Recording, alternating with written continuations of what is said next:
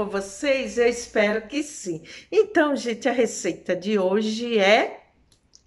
Sabe o sorteio que eu fiz? Então, é, sobrou é massa de puba.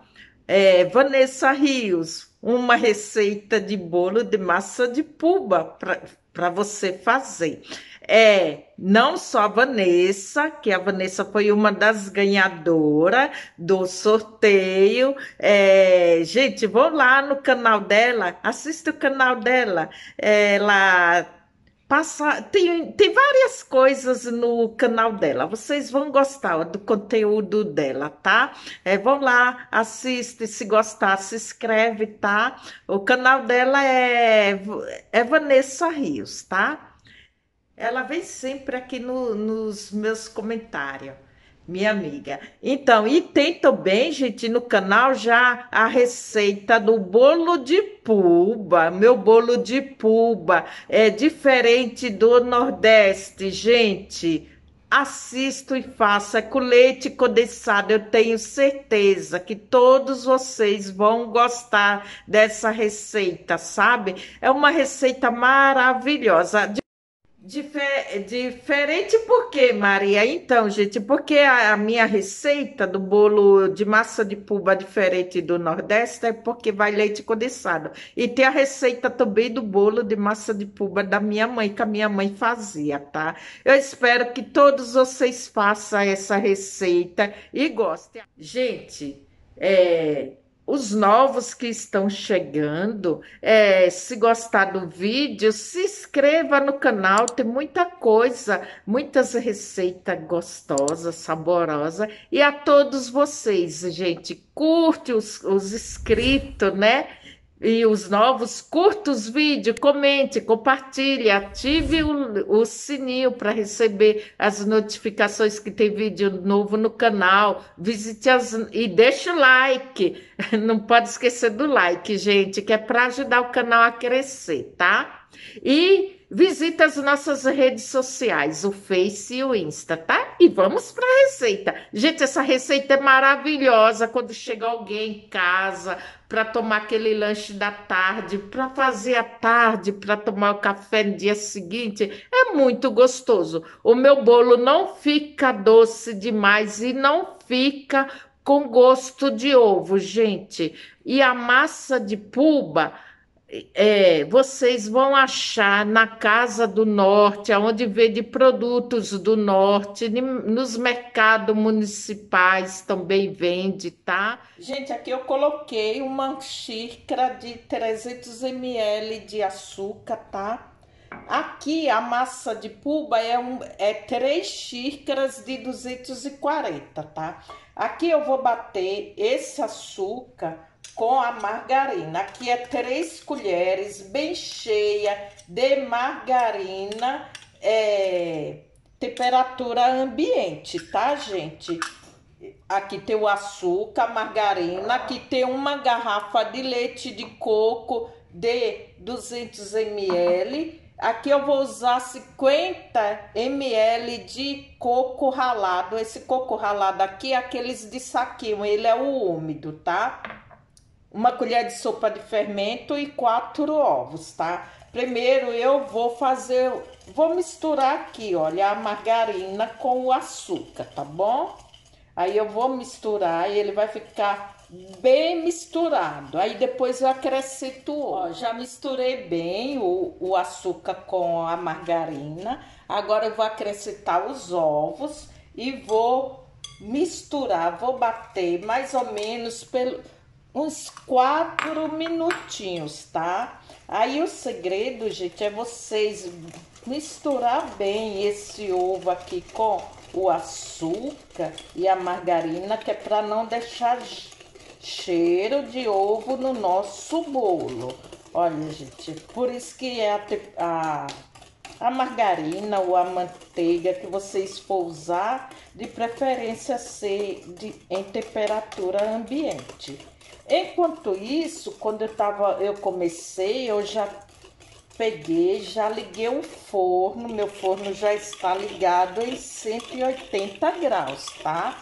Aí a gente mistura bem, bate bem esses ovos com essa margarina e o açúcar. Olha, gente, eu já bati bem, tá? A margarina com açúcar e os ovos. Olha a minha massa de puba, ela não é seca, gente, olha. Ela é ela é não é fresca e não é seca. E eles eles fazem em bala. Muita gente já perguntou por que que eu não faço a massa de puba para vocês. Gente, eu tô pensando em fazer, tá? Porque ela tem que ser feita num, num ambiente aberto. Eu moro, é, muita gente, minha mãe fazia na roça. Minha mãe fazia, minhas tias fazia muito na roça e levava, colocava massa de puba, minha mãe colocava no cesto a, massa, a mandioca e levava para a fonte, colocava lá, lá deixava de molho. Já minha tia, que mora na cidade, ela, ela coloca no, nas bacias, né? E deixa de molho. Eu tô pensando em fazer, mas, gente, dá um trabalho e o cheiro não é agradável, não, tá? Mas eu tô pensando em fazer para vocês verem o processo. Olha, gente, como vai ficando. Fica igual uma massa de um bolo. Maria, pode bater na batedeira, no liquidificador? Gente, eu, sinceramente, eu nunca fiz no liquidificador. Eu aprendi a fazer os, a maioria dos bolos na mão. Por quê? Porque antigamente não tinha batedeira e nem liquidificador. E tem gente que não tem batedeira e nem liquidificador. E eu acho que é assim o bolo cresce também, fica fofo, fica gostoso. Então não tem necessidade de fazer. Gente, cozinhar é uma arte, né? Se vocês fazem tudo com carinho, fica gostoso e saboroso. Bom, já, já misturei tudo, olha, aqueles bolos já desmanchou, olha, agora eu vou acrescentar o leite de coco. Gente, eu agitei meu leite de coco. Esse leite de coco, ele é bem concentrado. Olha, olha como ele é, ó, bem concentrado. Então, eu vou colocar ele e vou colocar o coco aqui, ó e vamos misturar.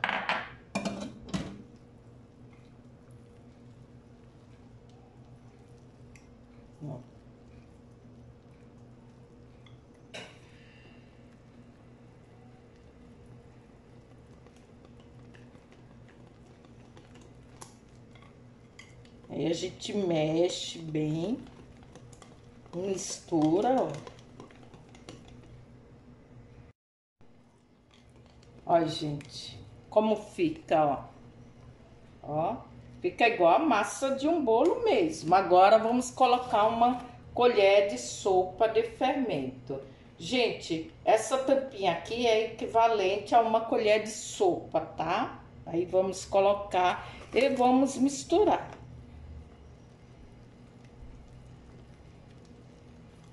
Mexer, a gente vai mexendo devagar, tá? Ó.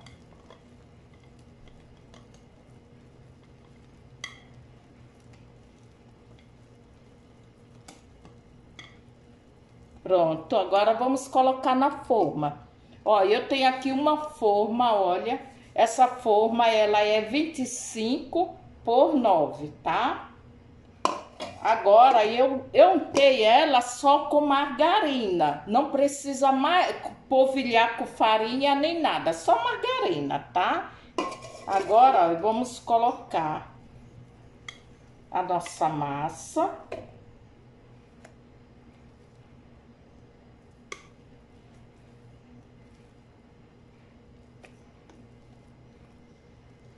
Na nossa forma. Eu vou pegar uma colher, então, gente, com a ajuda de uma colher, olha, Eu vou tirando, ó, aqui, ó.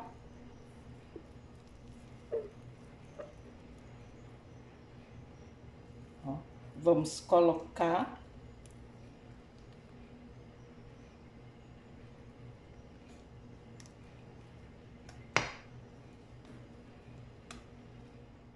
Gente, eu já coloquei aqui, ó, na nossa forma. Agora, ó, eu vou fazer assim, ó. Que é pra arrumar, ó. E vamos levar no forno. Meu forno já está ligado a 180 graus. Aí a gente vai fazer o teste.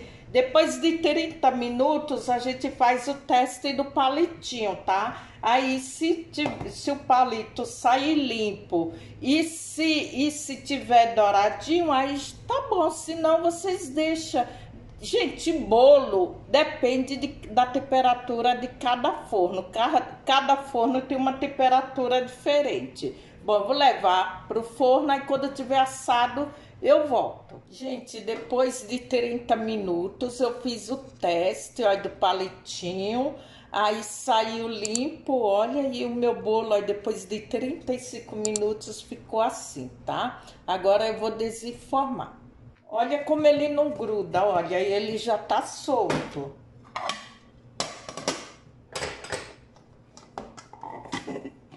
Ó, como fica bonito. Ainda tá fumaçando, não sei se vocês perceberam, olha. Pena que vocês não podem sentir o cheiro. Olha que bonito ficou, olha, o nosso bolo simples e fácil de fazer, sem glúten e sem lactose. Agora vamos cortar, ó, para vocês verem, gente. Nossa, esse bolo com café é tudo de bom. Olha para aqui, gente, olha. Vocês estão vendo, ó? Ó, fofinho, ó. Olha, e bonito, gente. E aquele cheiro gostoso. Vou experimentar para vocês verem. Nosso bolo. Olha que delícia, gente. Nossa. Pensa no cheiro. Eu espero que todos vocês façam e gostem, tá? Pois é uma delícia, gente. Nossa. Hum. Pensa. Que delícia. Olha, tem vários tipos de receita. Coloca o coco ralado, gente. Vocês podem colocar o coco ralado fresco ou de saquinho. Gente, o sabor desse bolo é maravilhoso, gente. Faço com o coco ralado, olha.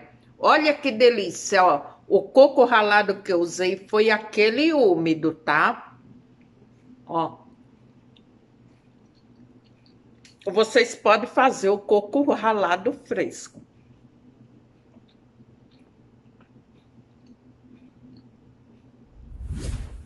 Deixa o like, não esquece do like, por favor, e até o próximo vídeo. Tchau! Beijo para todos e abraço para todos. Tchau!